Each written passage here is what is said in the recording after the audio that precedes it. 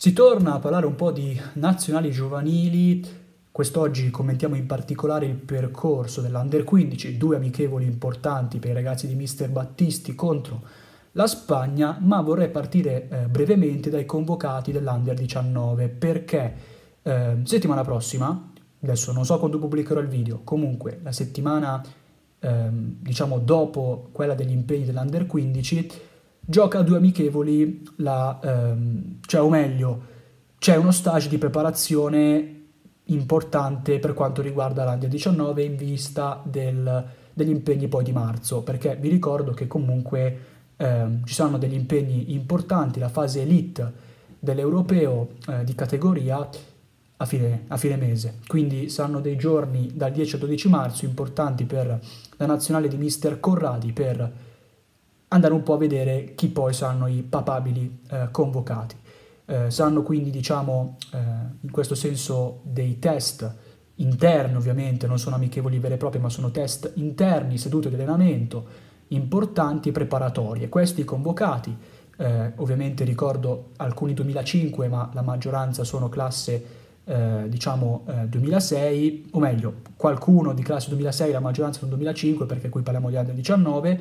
quindi in porta abbiamo Marin dalla Roma e Motta dalla Reggiana, difensori Corradi dal Verona, Cofre dal Südtirol, Mannini che in realtà è un centrocampista dalla Roma e Pagnucco dalla Juve, a centrocampo Sassuolo,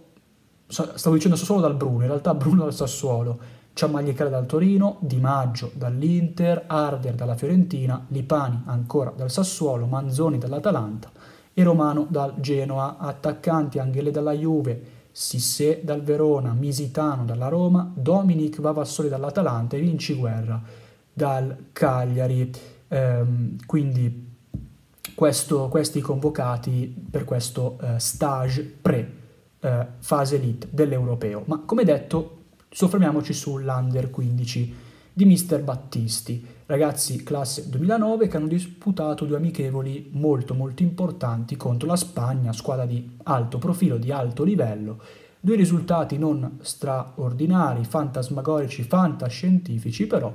eh, match utili per la crescita di questi ragazzi. Prima partita terminata sul punteggio di 1 a 1, eh, segna il gol mm, per la Spagna eh, Tuncara su calcio di rigore, per l'Italia invece eh, gol di Pisati. Nella seconda eh, partita invece è arrivata una sconfitta eh, per mano di eh, Enzo Alves, il capitano della Spagna, tra l'altro protagonista Mazzi per la nazionale che ha parato anche un rigore agli spagnoli, quindi poteva anche essere più ampio il divario tra le due squadre. rigore parato a Ruben Gomez, però per il resto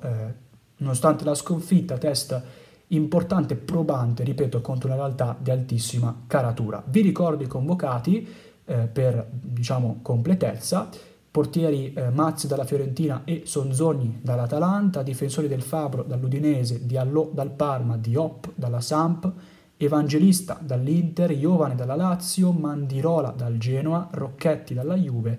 Touré dal Bologna, a centrocampo Angelicchio dal Milan, Baffò dal Sassuolo, Brizzolari dal Genoa, Gianmattei dalla Roma, Pisati dal Milan, Riccio dal Napoli e Stocco dall'Atalanta, davanti Eli Mogale dalla Juve, Fugazzola dall'Atalanta, Fustini dal Bologna, Landi dall'Empoli e Zanatta dal, dall'Atalanta. Questo quindi è, io eh, vi fermo, vi rimando ai prossimi impegni giovanili nelle prossime settimane e ci vediamo alla prossima. Ciao a tutti ragazzi.